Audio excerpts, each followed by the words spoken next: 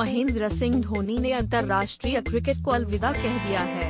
ऐसे में देश और दुनिया में महेंद्र सिंह धोनी के प्रशंसक उनके संन्यास के बाद अपनी भावनाएँ व्यक्त करे रहे हैं। इस बीच महेंद्र सिंह धोनी की पत्नी साक्षी धोनी ने एक इंस्टाग्राम पोस्ट के ज़रिए कहा कि आपने जो हासिल किया है, उसके लिए आपको गर्व होना चाहिए।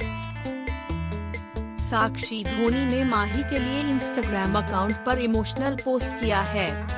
जिसमें उन्होंने महेंद्र सिंह धोनी की एक तस्वीर को पोस्ट करते हुए लिखा कि आपने जो हासिल किया है, उस पर आपको गर्व होना चाहिए।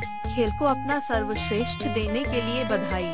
मुझे आपकी उपलब्धियों और आप पर गर्व है।